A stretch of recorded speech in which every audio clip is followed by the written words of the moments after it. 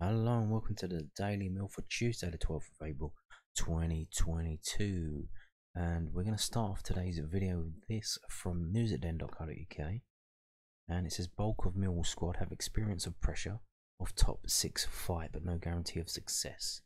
Uh, so this is more stuff from Gary Rowett, looks like. Uh, Gary Rowett knows experience could be key in running, especially in guiding younger players who haven't been in this position before.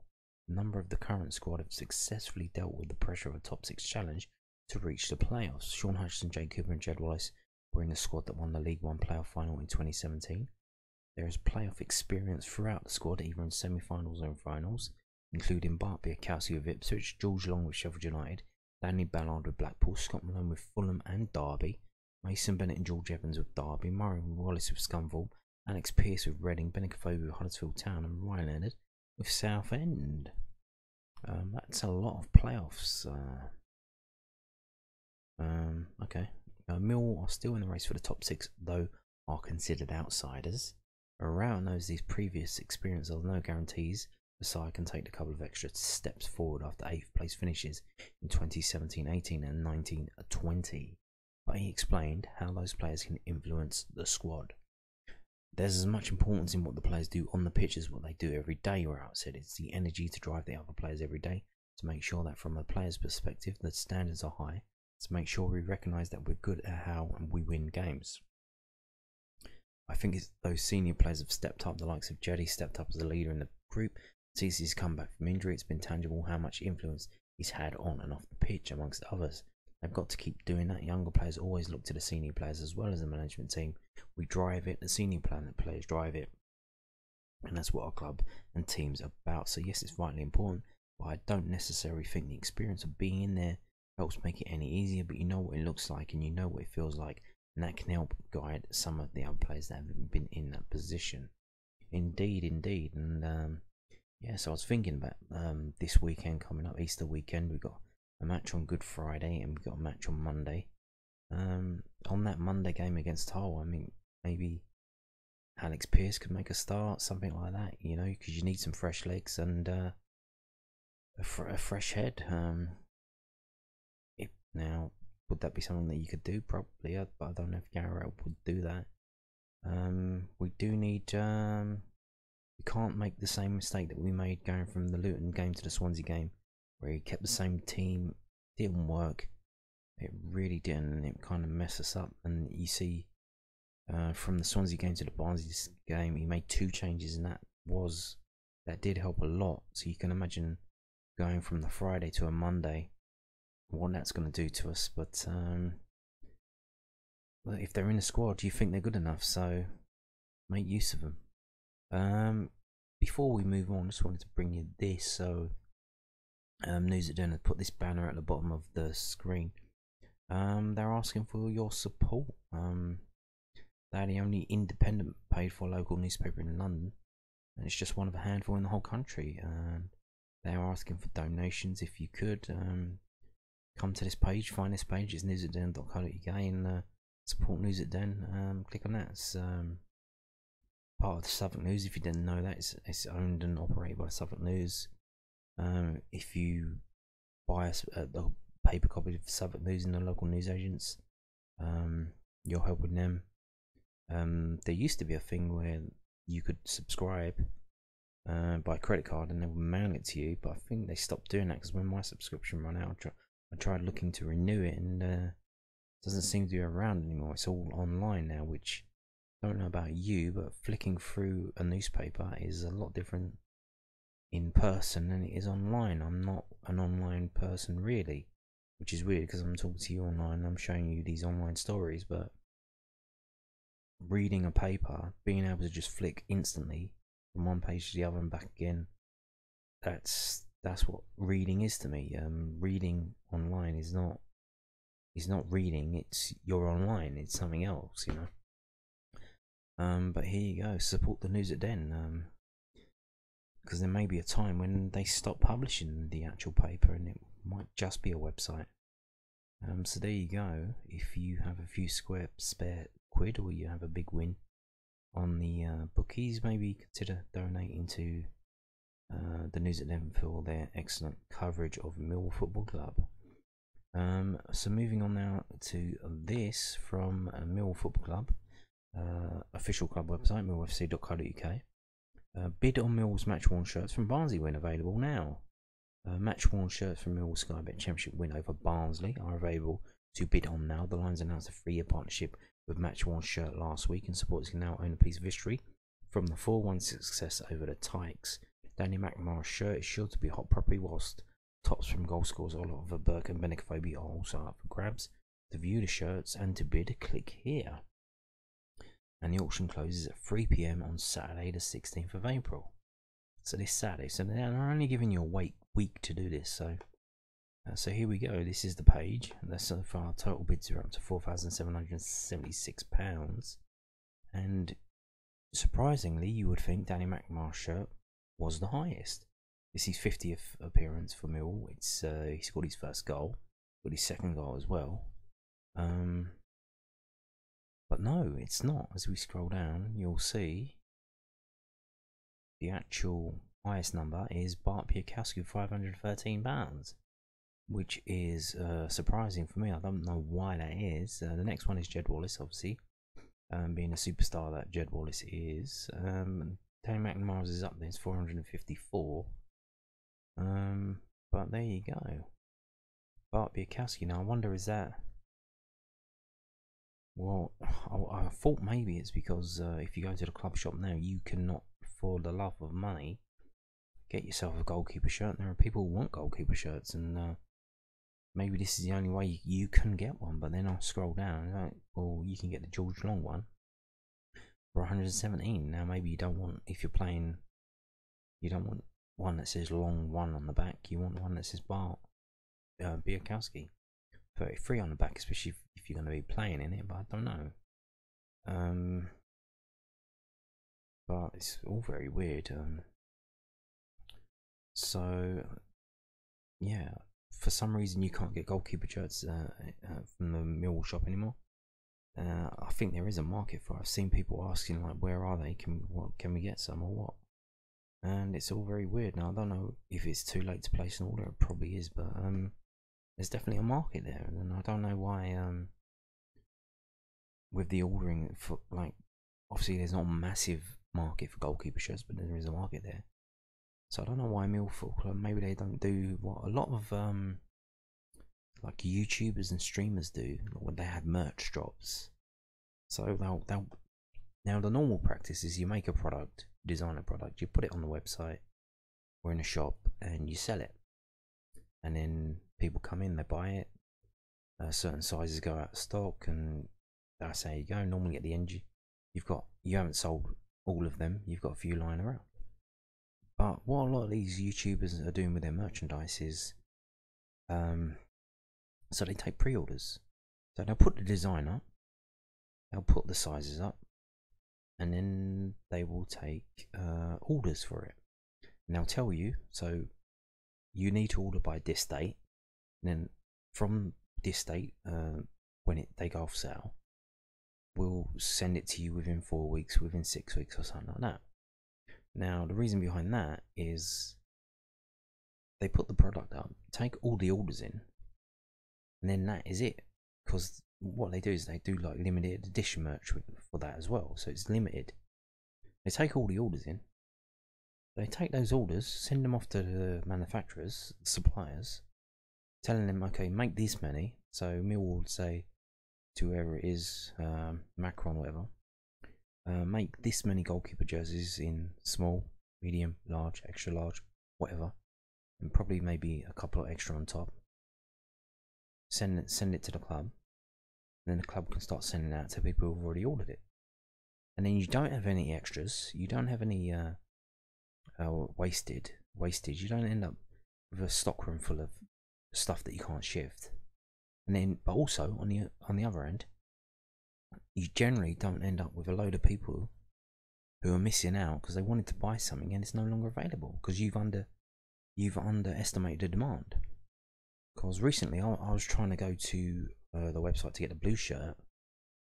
I thinking I didn't get it when it came out. I waited, and for love of money, I, I can't um I can only get in 4XL and up. And uh, to be honest, yeah, I'm fat, but I'm not that fucking fat.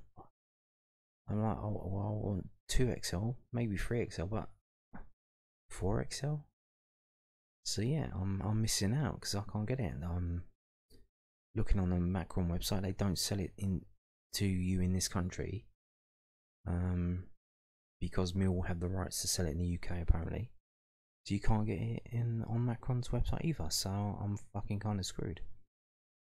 Um, so yeah, I'm wondering what's what what this is about, but why why is Bart's um, shirt number uh, number one seller? Can anyone tell me? I don't know. Um, also, so with Danny McNamara as well, so obviously a big day for him, scoring his uh, his 50, his 50th appearance, scoring his first goal, scoring two goals, um, playing a blinder of a game, man of the match, whatever, all that jazz. This this is the shirt that he was wearing, yeah. Like they're not doing a switch on us. Hopefully, he doesn't get to keep that shirt that he played that that like occasion shirt for him. Doesn't get to keep it. That's kind of um um uh what would you say? Kind of off, no? Um. Now you could say, well, he's got he's got money. He's not poor. He could bid for himself. I mean, five hundred quid, a lot of money for for some people, but I mean, for a professional footballer, it's not that much. Um. So you, but here's the thing: it's it's an auction. So is it on Saturday, 3 p.m. when the game, when when the auction's going to be? He has, he has to sit there and like hovering over his mouse pad, keep refreshing, refreshing, trying to make sure he gets his own shirt. Or how does that work? And or does he just put in an absolutely stupid bid, open it, it scares everyone off? But here's the thing: if I was one of his teammates and I wanted to play a massive prank on him, and if, if I knew that he was bidding for his own shirt, I would get on there, wait for it. Like if he put that massive bid in, I would wait until the last last second, then I would overbid. I would win the auction. And I'll come into training the next training session, and I'll talk to him about. So, oh, what happened with that shirt you were trying to buy? Did you end up getting it? You should see the look on his face. Oh no, no, no. Someone outbid me, putting a massive bid, but it wasn't enough. Someone someone outbid me for that even. And I'll just pull the shirt out from behind from behind me and throw it at him and say, "Here you go, son. One anniversaire. There's your shirt." Doesn't I'm not sure where the money's going. They don't. They didn't say this one's for charity. Um, but I think Millwall will use it for stuff like um, the community trust or something like that. Um, so yeah, uh, that is happening as well. So yeah, um, kind of uh, weird that McNamara can't get to keep his shirt, but kind of weird that Bart Bialkowski's shirt isn't the highest one so far.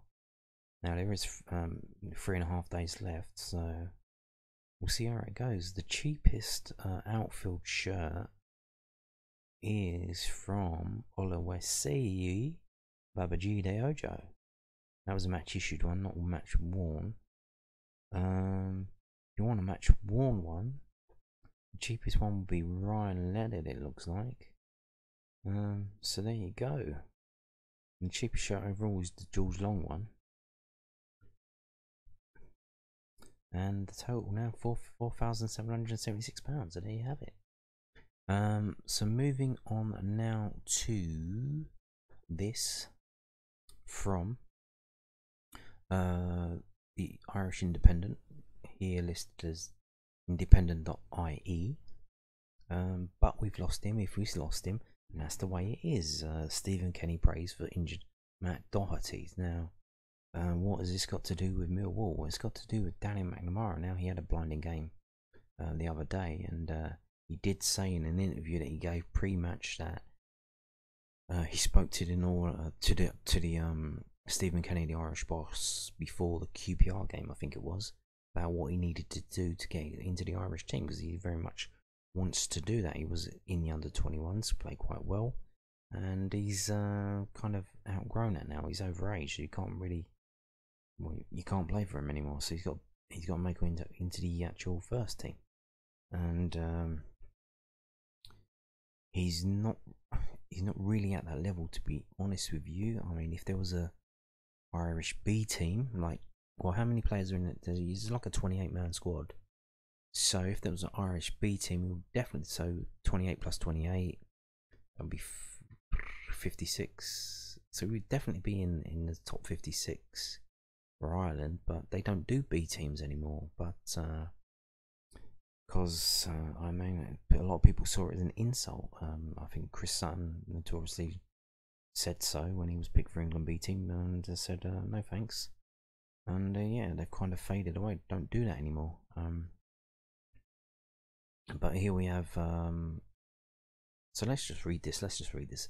Uh, Stephen Kenny is planning for a punishing four game series of matches in June by promoting rookies from the Championship like uncapped pair Danny McNamara and CJ Hamilton after injuries to key players, but Kenny's not planning to turn his back on the old guard.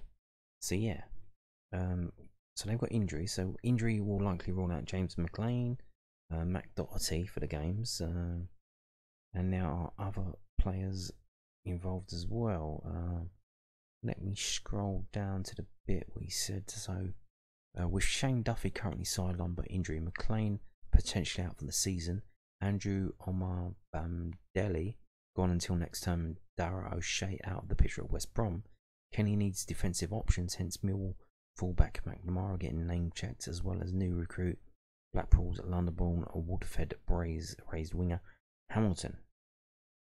Uh, and then he doesn't mention mentions him again, but uh, so yeah, um, could be set to step up. And uh, now this tournament that that they're playing in, it's this league thing that they brought in in terms of trying to replace friendlies, making them more meaningful games.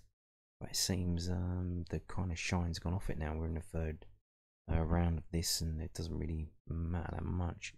It's supposed to help you move up the um, coefficients. Like the Ireland are in Group B, and if they win the group, they get promoted to Group A. If they get bottom of the group, they they get relegated to Group C. But to be honest, yeah, I think they should be pretty safe in this group. Um, so I think that's why he's thinking about um, playing players like Danny McNamara and stuff from from the championship because, um, yeah, they they should be able to at least finish in second or third in this group and not get relegated to this Group C and if they can put the cherry on the top, they um, get promoted as well because Ukraine have to play all their game, home games at neutral venues.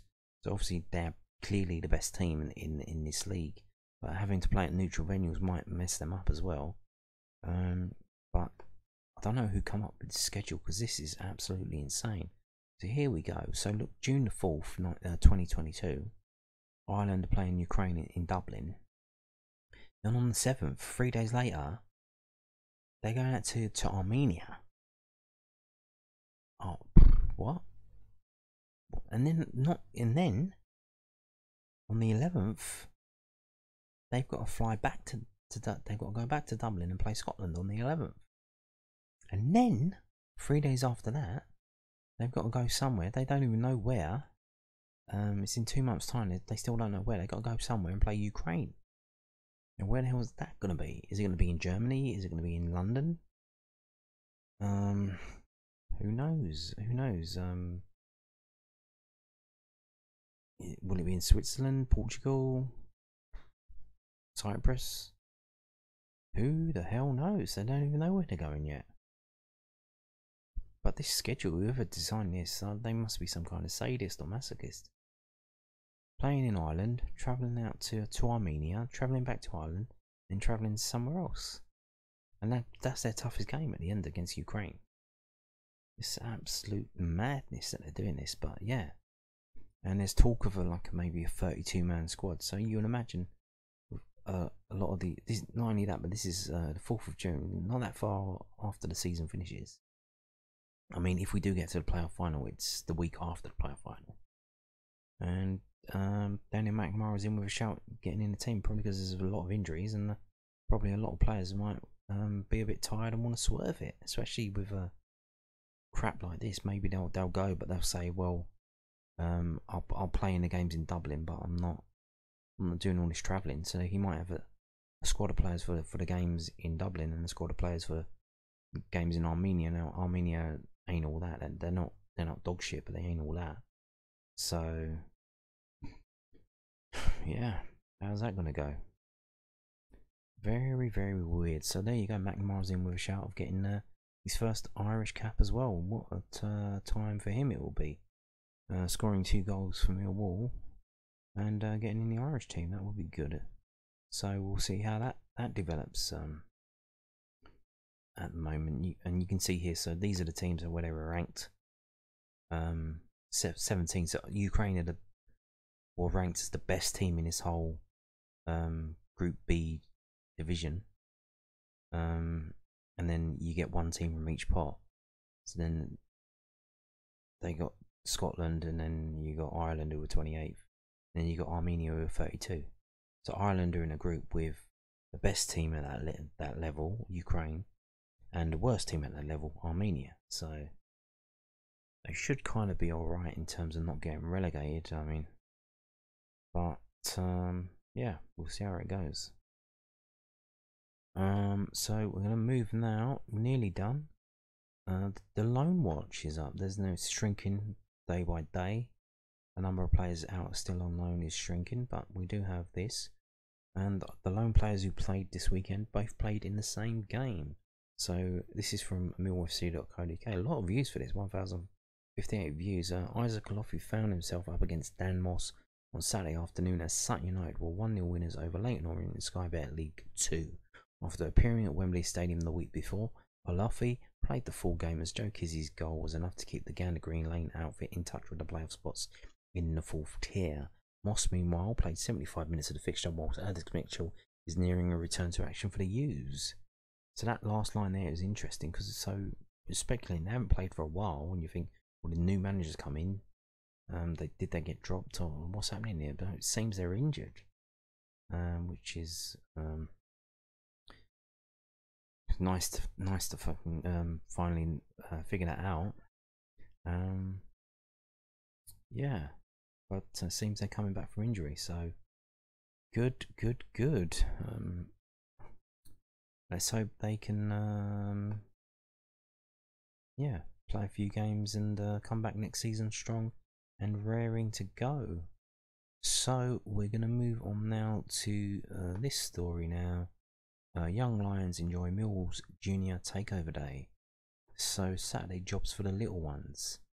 So yeah, if you were at the game this uh, weekend, you may have noticed a unusual voice on the uh, Tannoy system. Uh, now doing the announcing and uh, yeah they let they did i think this is they've been doing this for a while and uh, yeah they let um kids come in and uh, take over the roles of the matchday roles so millwall's latest junior takeover day proved to be a roaring success on saturday four junior lions took on matchday roles at the Den Ahead uh, and during the first half of millwall's 4-1 skybet championship win over barnsley harold buttle became the junior crowns person for the day whilst jacob waghorn and harry morgan joined the Lions media team as a junior reporter and a junior videographer, respectively.